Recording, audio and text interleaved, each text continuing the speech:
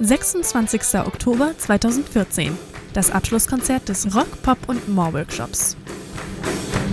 Ein Wochenende lang wurden 60 junge Musikerinnen und Musiker eingeladen, um von international tätigen Musikdozenten zu lernen.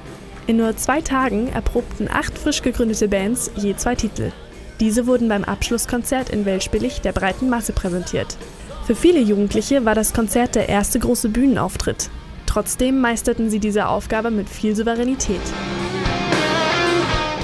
Die Idee zu dem Rock, Pop and More Workshop kam, da ich Stiftungsratsmitglied der Stiftung Musik Jugend Trier Land bin.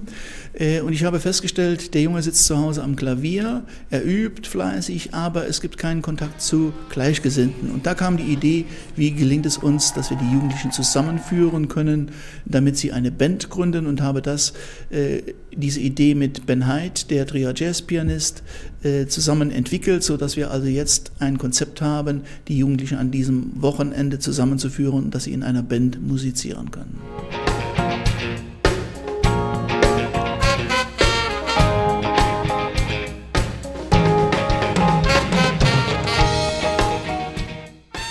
Eine dieser Jugendlichen ist auch Katrin. Also wir haben uns alle super verstanden, unser Dozent auch. Ähm, er hat uns auch sehr viel selbst übernehmen lassen, sodass wir immer mitreden durften, wenn uns was nicht gefallen hat, haben wir es immer den anderen mitgeteilt. Und so hatten wir eine ganz tolle Atmosphäre in unserer Band.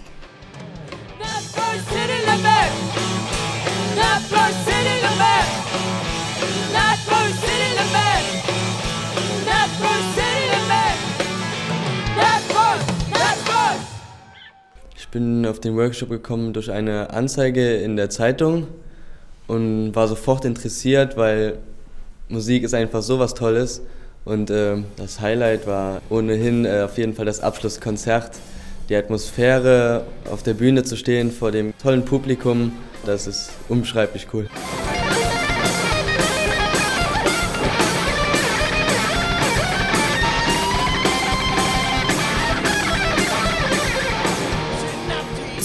Fünften Mal schon richtete die Stiftung Musikjugend Trierland den internationalen Musikworkshop Rock, Pop und More aus. Und wieder konnte der Workshop seine Teilnehmer mit einer talentgeladenen Auswahl an Dozenten begeistern.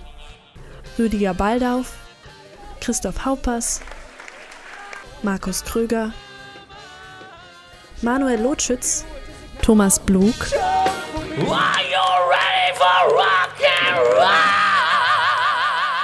Chitral Sumapala, Michael Stein, Raoul Walton und Günter Wernow konnten dieses Jahr ihr durch jahrelange Erfahrung im Showgeschäft errungenes Wissen weitergeben. Mit den Coaches Henrik Davis und Christoph Schwind rundeten die Teilnehmer auch ihre Gitarrentechnik sowie unter anderem Bühnenpräsenz ab. Eines der Hauptziele des Workshops ist es, auf lange Sicht Impulse für die Gründung neuer Bands zu setzen. Der musikalische Nachwuchs soll nachhaltig gefördert werden.